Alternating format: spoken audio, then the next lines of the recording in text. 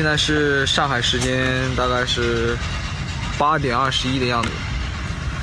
我本来是坐飞机飞到国外去，结果醒来的时候，我旁边的工作人员说他有件事要跟我说。我说什么事啊？他说的那么凝重，结果 他跟我说我们本来要落地首尔，结果现在首尔天气不好，落不下去，就落到上海了。你看外面的阳光。我记得我坐飞机的时候还是晚上，天还没有亮。现在天亮了，但是目的地没到，怎么可能？飞了这么久，我也睡了一觉起来了，对吧？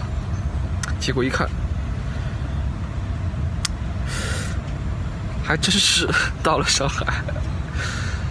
然后现在我们就说想改个飞机吧，这里又不准不准下去，这里不准下去吧。我想着干点什么呢？做做音乐什么的。